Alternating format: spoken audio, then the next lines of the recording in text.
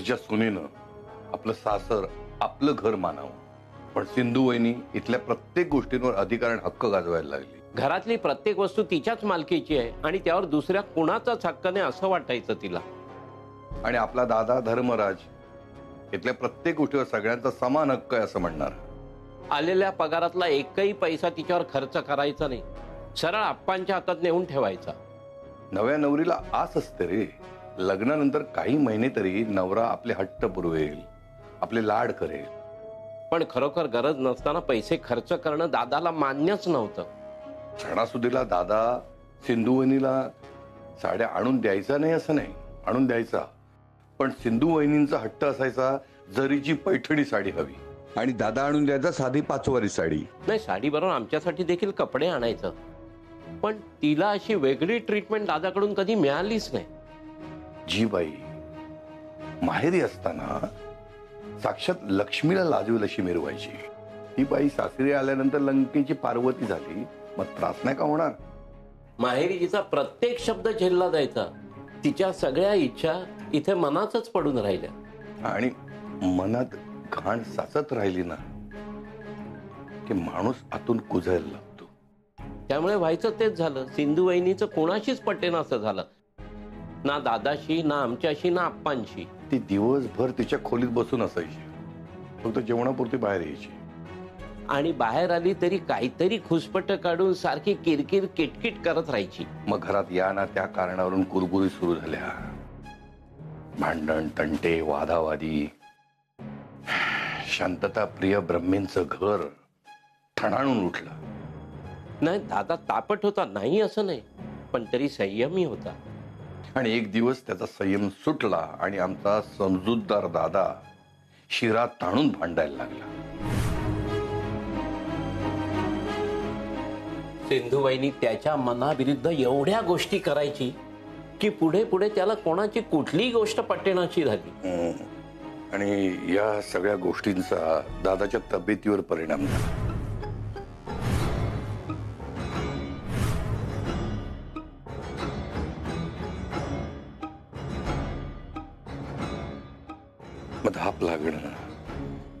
श्वासावरचा ताबा सुटणं हे सगळं तेव्हा सुरू झालं.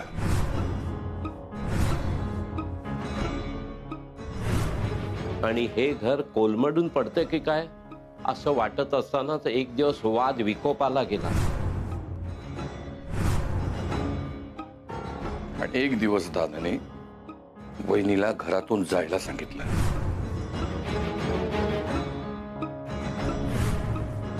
आणि वहिनी सुद्धा कशाचाही विचार न करता या घरातून निघून गेली.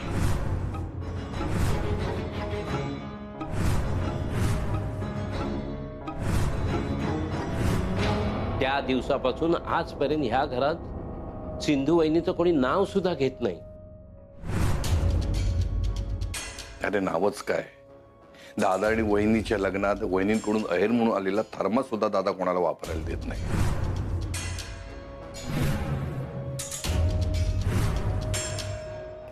एक मिनिट. पण असं नेमकं काय झालं होतं ज्याच्यामुळे त्यांनी तिला घरातनं बाहेर जायला सांगितलं? त्यावेळी तू दोन वर्षाचा होतास. चांगलं चाललंय.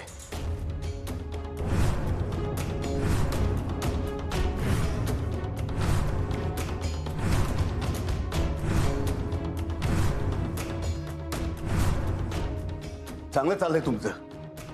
अरे माझ्याबद्दल वाईट साईट रंगवून रंगवून सांगताय का त्याला? माझी माझी बदनामी करताय बेआबरू करताय. अरे दादा आम्ही फक्त काय फक्त? काय फक्त काय फक्त? माझ्या विरुद्ध कट रचताय.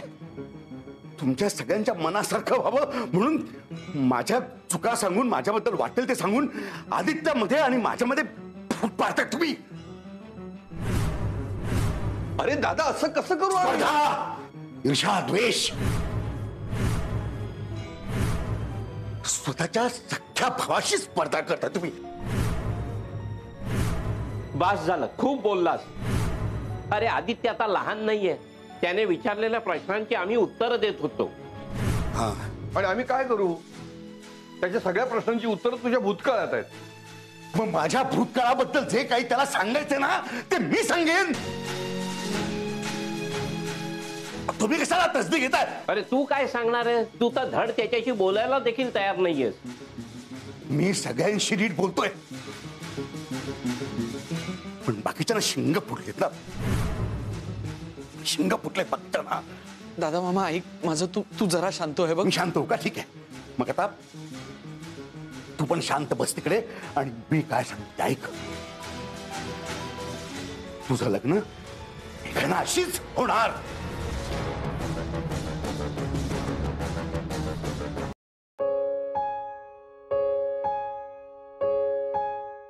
मला माहिती आहे की तुला दादाची सवय आहे. पण दादा आता घरात नाही त्यामुळे मी तुझ्या समोर बसलोय. खरं म्हणजे ना मी मी एक नवस बोलणार आहे तुझ्याकडे. कारण सरळ काही मागून तू काही देत नाहीस. दादा म्हणतो की देव जे काही देईल ना त्याच्यात तुम्ही समाधानी असले पाहिजे. पण तुझा काहीतरी विशेष राग आहे माझ्यावर. सांग ना तू असा असं का वागतोस माझ्याशी? मी शाळेत असताना तुला म्हटलं होतं की मला पास कर. तू नाही केलंस का कमी पगाराची का होईना तू मला नोकरी दे असं म्हटलं होतं मी. ते तू कधी केलं नाहीस. वंधुताईच्या लग्नानंतर तिचं सगळं छान होते म्हटलं होत. तू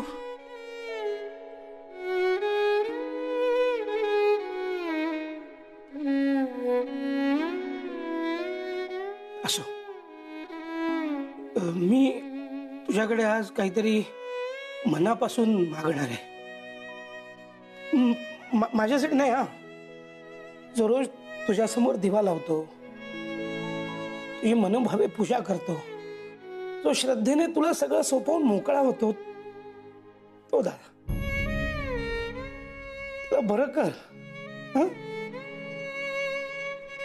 घरात नसला ना की सगळं घर असं ओक पोक वाटतं. थोडं चिडकाय आहे.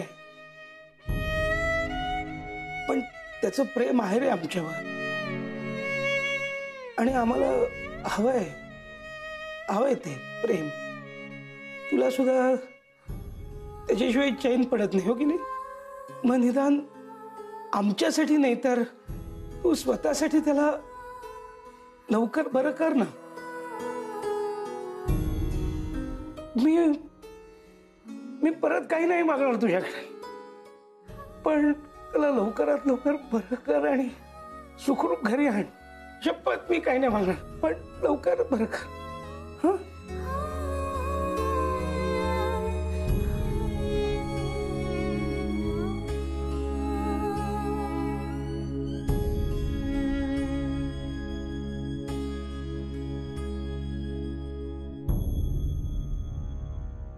तुम्ही तुम्ही कधी आलात?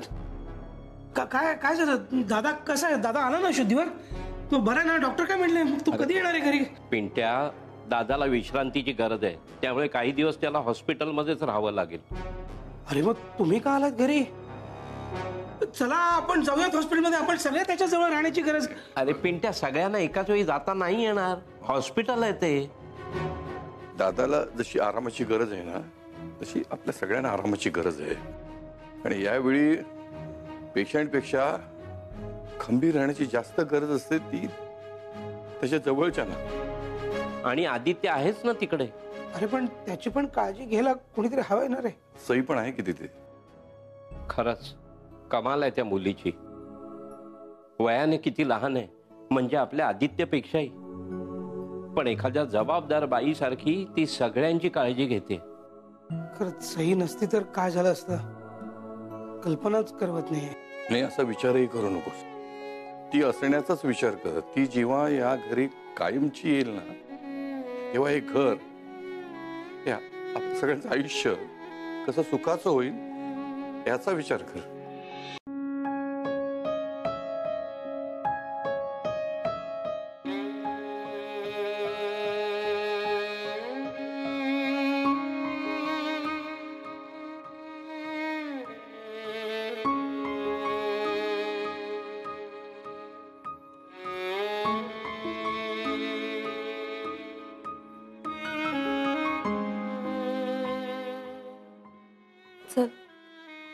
बाहेर बसूया. नाही मी इथंच थांबतो. दादा मामा बरा होईपर्यंत आता मी नाही हलणार आदित्य अरे आता मी जस्ट डॉक्टरांशी बोलून आली आहे महत्वाची ती सगळी औषधं इंजेक्शन देऊन झाली आहेत दादा मामांना. आता फक्त वाट बघणं एवढंच आहे आपल्या हातात. ठीक आहे मग. मी इथे बसून वाट बघेन. आदित्य अरे डॉक्टर सुद्धा उद्या सकाळपर्यंत इथे येणार नाहीत? मग तू इथे डॉक्टरांसाठी पेशंट आहे तसंही माझा मामा आहे. मी नाही त्याला एकट्याला सोडू शकत. अरे एकटं सोडायचं कुठे म्हणतीये मी? एकटं नाहीच सोडायचंय त्यांना. मी फक्त म्हणते आपण बाहेर जाऊन बसू. इथे हॉस्पिटलमध्येच थांबायचं आहे हे सारखं असं इथे बसून राहणं बरं नाही ना वाटत? तू बाहेर चल. थोडासा फ्रेश हो तुला सुद्धा बरं वाटेल. मग हवं असलं तर परत थोडा वेळ इथे येऊन बस. चल. मी हट्टी मामाचा हट्टी भातचा असतो. असा नाही ऐकणार. चल.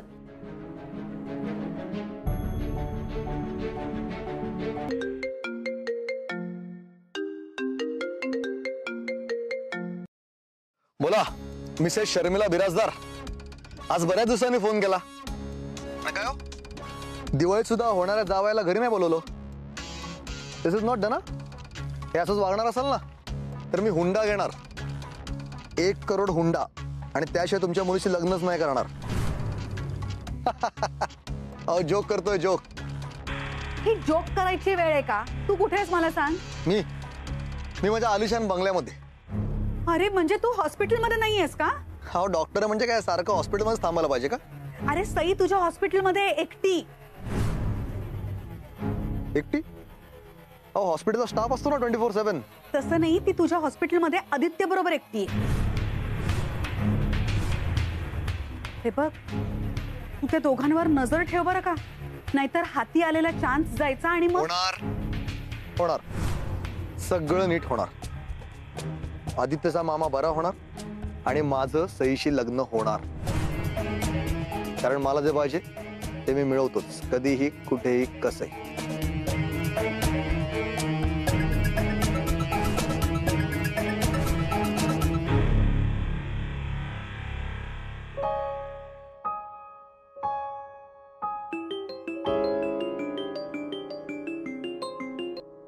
हा बोल बंधू मामा.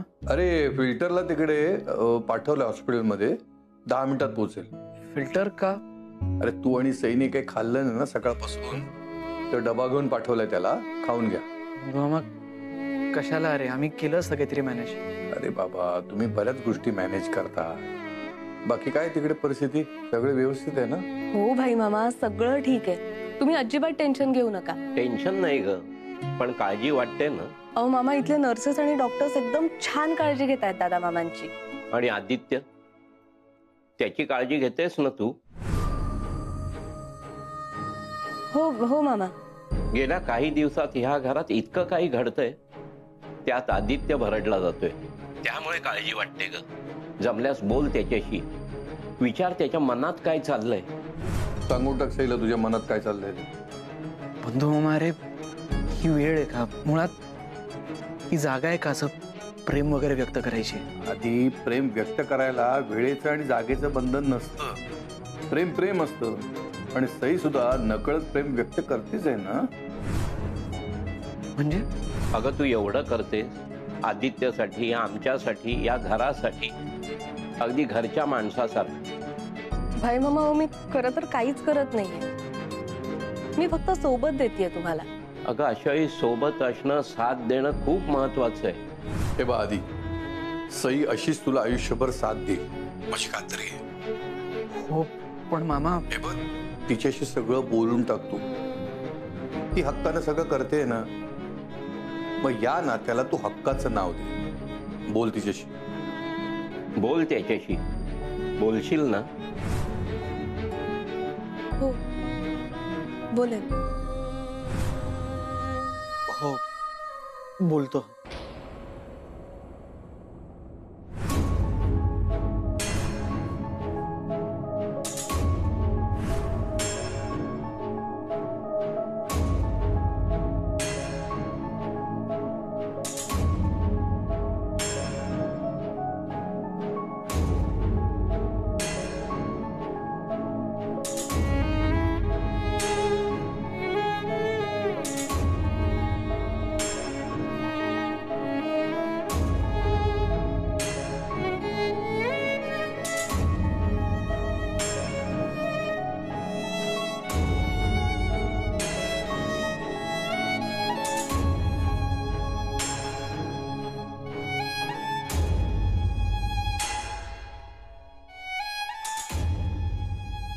तुला मला काहीतरी सांगायचं आहे ना?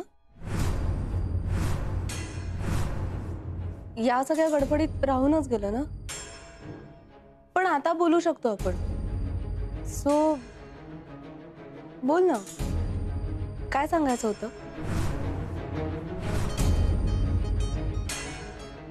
सई मी मला कसं सांगू? आदित्य तू आत्ता सो तसंच करणार आहेस का? हं? मी तू मला तुला माझं तुझं हा? नाही. अरे सांगून टाक ना एवढं काय अवघड आहे त्यात? हे असं सांगणं सोपं नाही आहे का एवढं? आदित्य अरे तुम्हाला कित्येकदा समजावताना छान उदाहरणं देऊन सोप्या भाषेत समजावतोस की नाही? मग तसंच हे पण सांग. आज काय झालंय तुला? नाही आज आज नको असं. ठीक आहे. तुला हवा तेवढा वेळ घे. तशी अख्खी रात्र आहे आपल्याकडे. त्यामुळे भरपूर वेळ आहे. माझ्याकडेही आणि तुझ्याकडेही.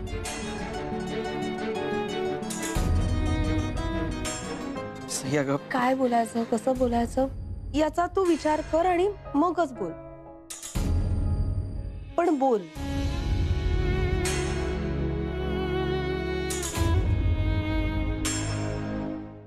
आदित्य. आदित्य अरे काय वेड्यासारखा रडतोस तू? प्लीज प्लीज शांत हो. दादा मामाला असं बघायची सवयच नाही यार. तो कणा आहे आमच्या घराचा. त्याला असं डळमळीत झालेलं बघून सहन नाही होत यार. ते बरे होणार आहे.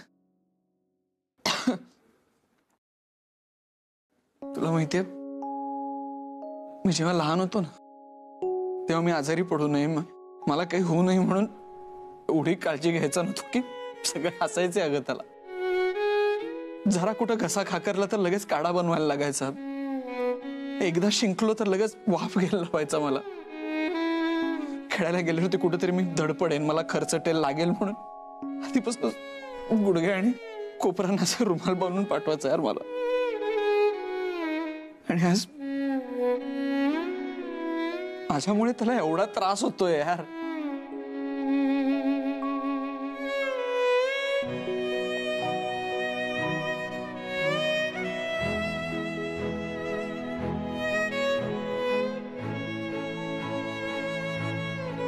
लहान होतं तेव्हा तर सगळं चांगलं होतं. आता सगळं बिघडलंय. असं काय बदललंय आता? सगळंच. माझी जगाकडे बघायची दृष्टी बदलली. माझ्या आवडीनिवडी बदलल्या आहेत. माझं वागणं बोलणं बदललंय माझं. सगळंच बदललंय यार. आणि प्रॉब्लेम आहे की दादा मामा अजून तसाच आहे.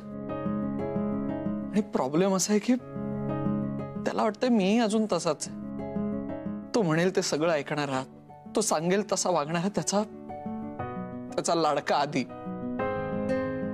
आदित्य. अरे जनरेशन गॅप म्हणतात याला. आणि हे प्रत्येकाच्या आयुष्यात होतच. लहानांचं मोठ्यांना आणि मोठ्यांचं लहानांना पटेन असं होतच. पण मग ह्या सगळ्याच्या पलीकडे कसं जायचं हे? ही जनरेशन गॅप कशी भरून काढायची यार? खूप सिंपल आहे. लहानांनी मोठ्यांसारखा विचार करून मोठ्यांना समजून घ्यायचं आणि मोठ्यांनी थोडं लहान होऊन लहानांसारखा विचार करायचा.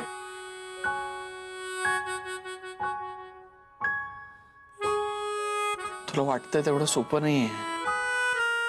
आणि दादा मामाच्या बाबतीत तर अजिबातच नाही कारण त्याला जे हवंय ते मला नकोय. आणि मला जे हवंय ते समोर तो समजूनच घेत नाही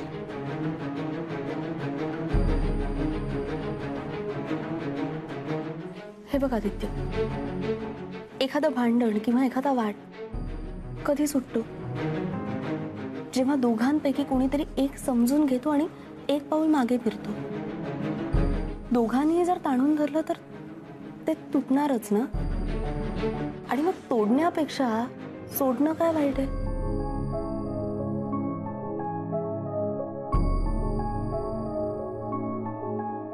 हो पण दोघांपैकी नक्की कोणी सोडून द्यायचं? हे मात्र तुला ठरवावं लागेल. कारण दादा मामा आता कुठलाही निर्णय घेण्याच्या अवस्थेत नाही आहेत त्यामुळे ही जबाबदारी तू उचल तू निर्णय घे.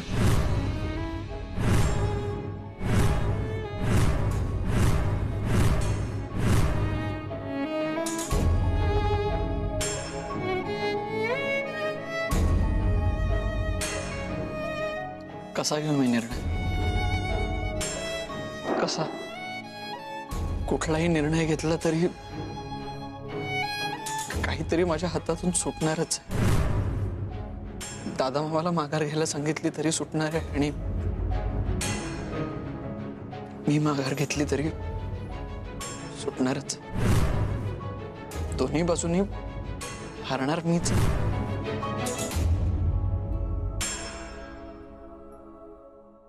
हार जीत तो होती रहती राजू। पण हरून सुद्धा जर का आपण जिंकणार असू तर थोडस हरायला काय हरकत आहे?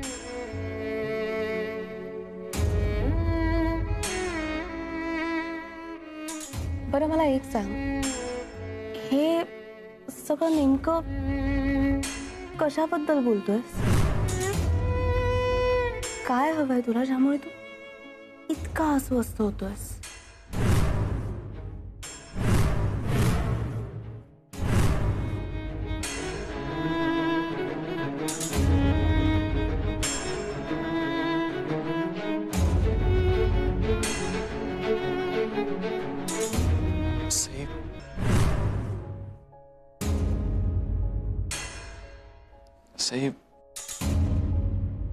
तुला उद्या सकाळी सांगतो ना प्लीज़ आत्ता नको. का? उद्या सकाळी असं काय बदलणार आहे? बदलणार आहे उद्या सकाळी मी मी निर्णय घेईन.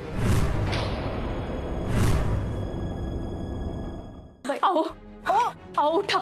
उठा. उठा म्हणते ना बोला माझ्याशी काहीतरी. मला माहितीये मला माहितीये हे सगळं तुमच्या त्या रिकाम टेकड्या भावंडांमुळे झालंय. सगळ्या घराचा भार तुमच्या डोक्यावर देऊन स्वतः मजा मारत बसतात. आयत्या बिळावरचे नाग मेले. आत्ता सुद्धा आत्ता सुद्धा मला माहितीये. तुम्हाला इथे असं खाटेवरती झोपून स्वतः कुठेतरी नको नको त्या टिंगल टवाळ्या करत बसले असतील. तरी बरं तरी बरं हॉस्पिटलात तरी आणलंय तुम्हाला. हॉस्पिटल बाकी चांगलं श्रीमंती निवडलंय हो. काय हो? एरवी माझ्यासमोर ब्रह्मेंच्या दरिद्रीपणाची रडगाणी गात असता. आणि आता इथे आजारपणात चांगले एसी खोलीत अगदी सुखानी लवणलायत हो. आता या हॉस्पिटलची बिलं भरायला पैसे कुठून आणणार आहात? दापोलीची जायदाद विकणार आहात? का तुमच्या त्या टोणग्या भावांनाच विकणार आहात बैल बाजारात? बोला ना बोला काहीतरी अहो. ओ बाई काय चाललंय काय तुमचं? काय बडबडताय? हे बघा हे हॉस्पिटल आहे. मच्छी बाजार नाही. त्यामुळे जी काही बोंबाबोंब करायची असेल ना ती बाहेर जाऊन करा. हे बघे मुली मी कुठं जायचं कुठं नाही हे माझं मी ठरवते. यांनी एकदा हकलवली तेवढं खपवून घेतलं मी. आता बाकी कुणाचं काही खपवून घ्यायची नाही मी. हे बघा तुम्ही चुपचाप बाहेर निघा नाहीतर नाहीतर तुम्हाला धक्के मारून बाहेर काढावं लागेल? ए आजवर माझ्या नखाला सुद्धा धक्का लावू शकलं नाही कोणी. या असल्या पोकळ धमक्या मला देऊ नकोस. मी फक्त धमक्या नाही देत. मनात आलं ना तर तसं करून मोकळी होते. हे बघा मी तुमच्या वयाचा मान ठेवून शांतपणे बोलतेय. बाहेर निघा.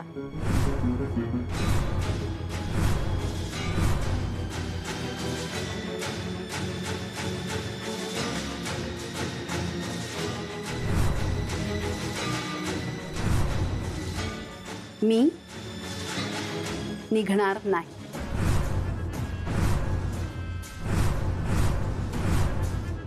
हे बघ नर्सनी नर्स सारखं वागावं.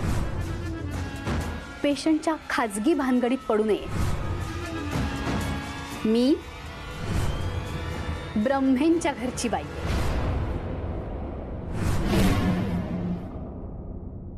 ओ मी सुद्धा नर्स नाही आहे मी पण ब्रह्मेंच्या घरचीच आहे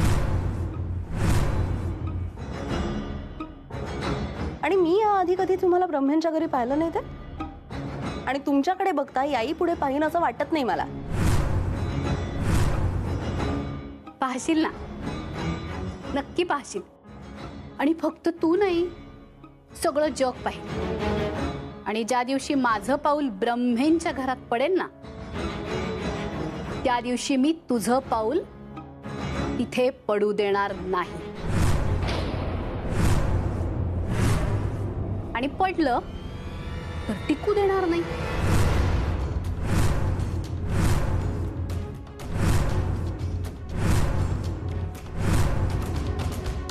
मी मनात घर केलंय ब्रह्मेंच्या.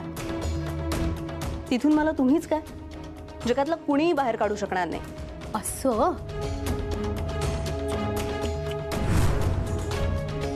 गैरसमज आहे बाई तुझा. कारण तू अजून मला ओळखलं नाहीस. तेच तर.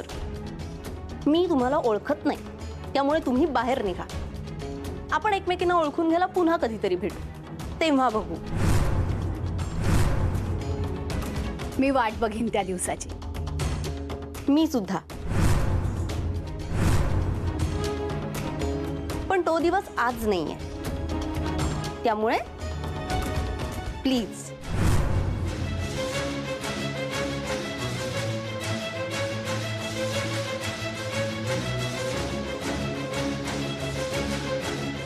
मी जाणार नाही.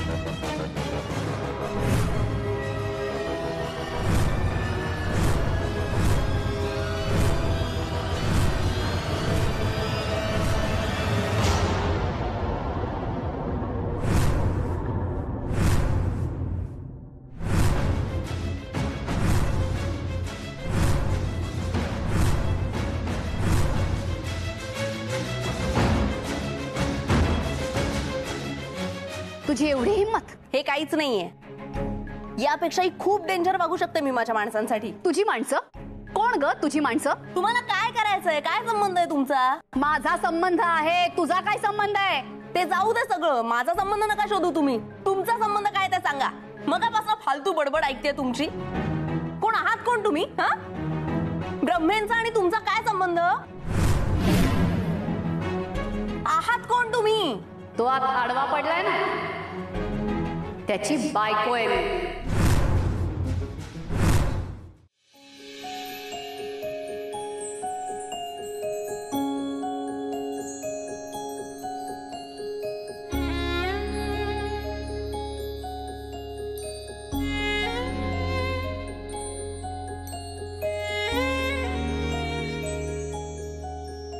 दादा बरं वाटतंय ना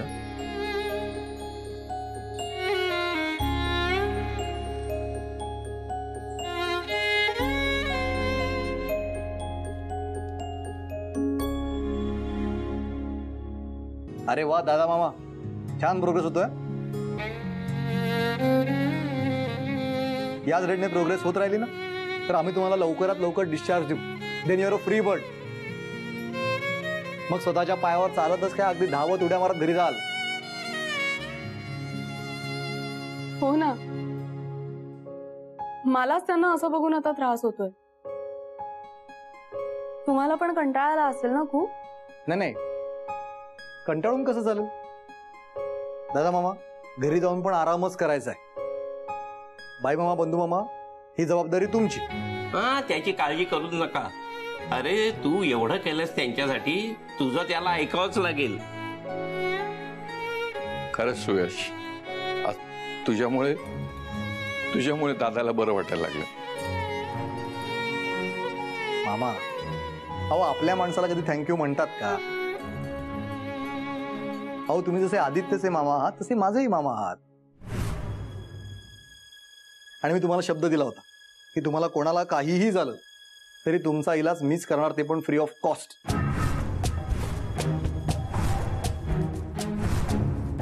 हे कधी झालं? हे आताच म्हणजे ऍडमिट करण्या तू बाहेर गेली होतीस ना? तेव्हा.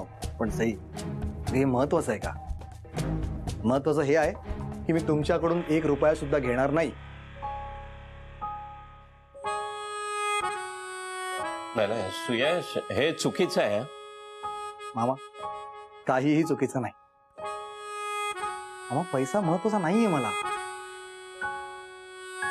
मला फक्त तुमचे आशीर्वाद हवेत तेवढे द्या.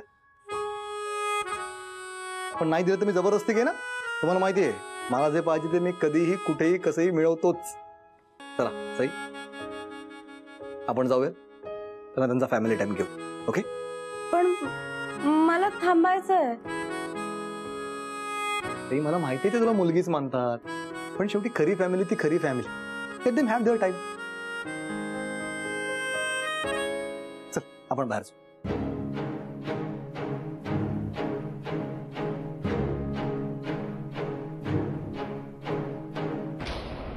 आदित्य.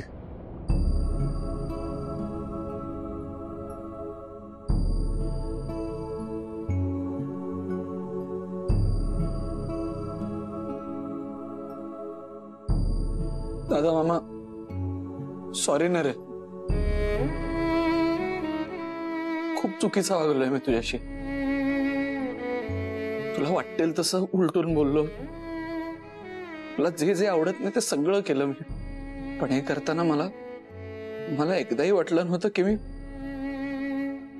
मी तुला कायमचा गमावून बसेल. देवाने मला ही अशी शिक्षा दिली आणि मला पहिल्यांदाच जाणवलं. नाही जगू शकत तुझ्याशिवाय. तुमच्या कुणाशिवायच नाही जगू शकत मी. मी अख्खं आयुष्य पणाला लावलंय माझ्यासाठी. आणि मी मी माझ्या हट्टापायी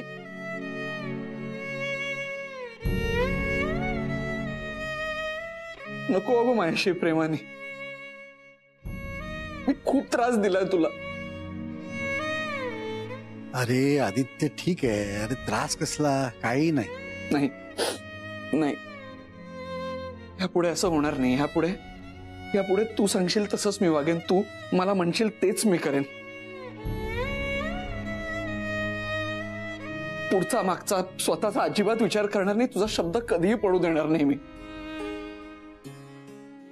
मला फक्त एकच गोष्ट तुला सांगायची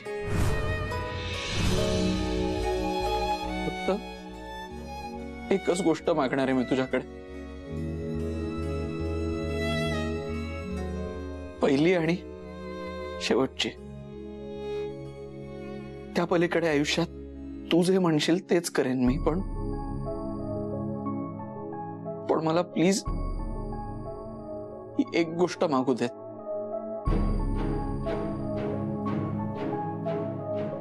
हे बघ आदित्य तुझ्याकडे खूप आयुष्य पडलंय. तुला काय हवं ते मागायला. पण आज हा दादा मामा तुझ्याकडे जे काही मागणार आहे त्याची शेवटची इच्छा समज. काय हवंय तुला माझ्याकडून? वचन हवं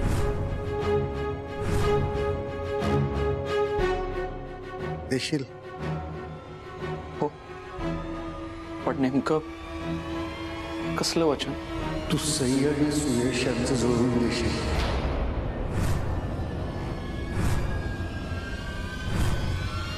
आणि मेघनाशी लग्न करायला तयार अशी याचं वचन.